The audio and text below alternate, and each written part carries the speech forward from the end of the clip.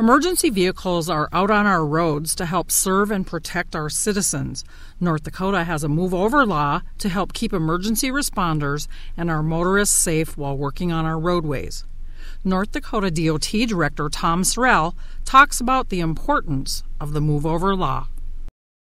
We want to remind motorists it's important to move over or change lanes when they encounter an authorized emergency vehicle such as a highway patrol, ambulance, fire truck, DOT maintenance vehicle or tow truck parked along our state's highways.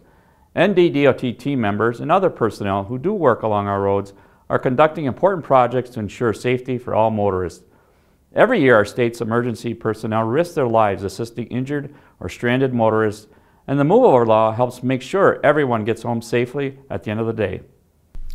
While working, these vehicles will display a flashing, revolving, or rotating light, which means the approaching drivers should move over if possible and proceed with caution.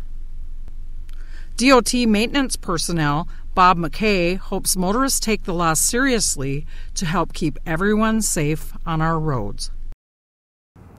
It's scary it, because they're coming by at 75 miles an hour. We're right there in the unsafe zone, if you will. So we really need that space to do our job. Lieutenant Mike Roark with the North Dakota Highway Patrol explains how the law works and what people should do when they encounter an emergency vehicle parked or stopped along the interstate or a multi lane highway. The driver of an approaching vehicle should proceed with caution and yield the right of way by moving to a lane that is not adjacent to the vehicle if the move may be made with due regard to safety and traffic conditions. If not, the driver should proceed with due caution, reduce the speed of the vehicle, and maintain a safe speed for the road conditions. If you do not follow the law, it's considered a right-of-way violation, worth two points on your license and a fine of $50. So when you see our vehicles with someone pulled over on the side of the roadway, please move over. If that's not possible, please slow down and pay close attention. The most important factor is the safety of our emergency personnel and our motorists, so it's important to follow the law.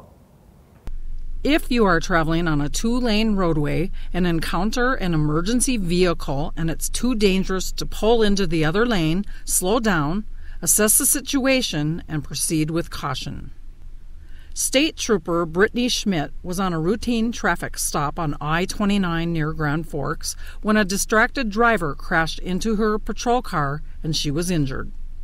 Before we get out of the car, I always um, look in my rearview mirror and my side mirrors to make sure everybody is moving over before I get out. When I look back, I just saw a white passenger car that was basically already on my rear that was more so like on the shoulder and partially in the driving lane.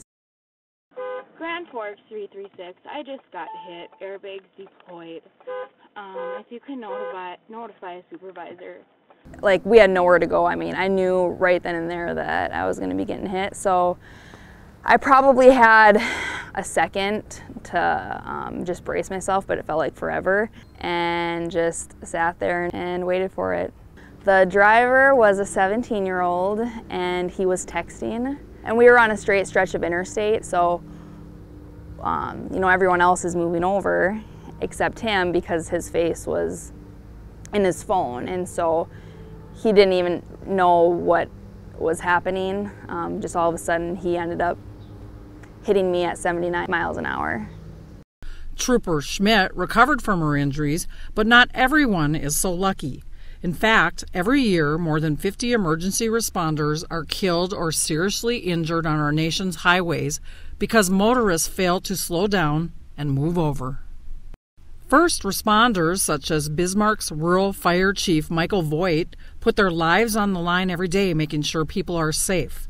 He asked drivers to do their part when encountering emergency personnel working near the roadway. When they see us working, we're asking people's cooperation to pull over because obviously we want to go home safe to our families at the end of the day. And by slowing down, moving over, it gives us the room to work and uh, gives us the opportunity to avoid collisions. Along with first responders, tow truck drivers do much of their work near oncoming traffic. George Kunz with Ace Towing says the main thing is for motorists to pay attention and not be distracted when behind the wheel. Our biggest concern when we're out there on the side of the highway is that people pay attention. Slow down, move over if all possible. If you can't, at least reduce your speed. Um, stay off your cell phones. Don't be texting and driving. Um, you know, we don't have a whole lot of room out there on the shoulder when we're working. And if people come flying by, there, there's a great opportunity for one of us to be hit and killed. Although all 50 states now have move over laws to protect emergency responders and maintenance personnel, motorists need to do their part by slowing down, moving over when possible, and driving according to conditions. Remember, every situation is different, so always be prepared. Failing to take these actions can endanger your life and the lives of others. Please help protect those who protect you, and remember to move over.